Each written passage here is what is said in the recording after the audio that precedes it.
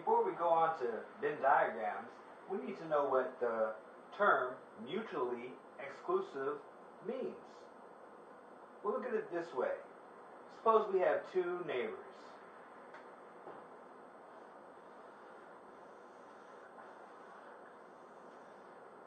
One neighbor lives on this side.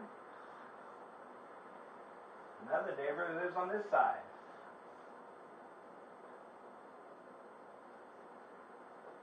They don't have a fence between them. Their kids run and play together freely all the time. One kid will be over in their yard, the other kid will be in the other yard. They are together. Now, one day, one neighbor gets mad at the other one. He says, I'm going to build a fence right here. The other neighbor says, Well, if you're going to do it, I'm going to do it too. So they both got a fence right here. Now their kids cannot play with each other.